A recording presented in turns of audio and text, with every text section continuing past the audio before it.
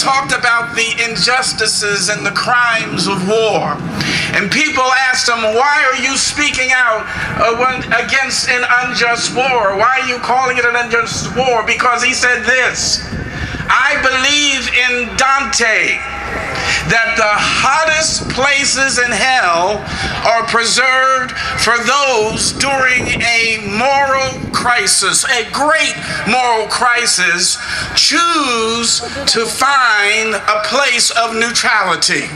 And he said, Therefore, I because there's injustice in the land, and you have to speak. And you have to be bold. Because, first of all, if there's a hot place in hell, you're not going to find me there before. I was reminded of the great Saint Telemachus who rushed down into the arena and placed his body between a fallen gladiator and his opponent. To the disdain of Caesar and the crowd, he came with only one message the killing must stop. I was reminded of that this past fall as I remember the story of how even when he was wounded, his only words were, The killing must stop. And as the fatal blow came down upon him at the sanctioning of Caesar, Indeed, his last words again were, The killing must stop. We were kind of wounded last November, but the killing must stop. we will continue until the killing must stop.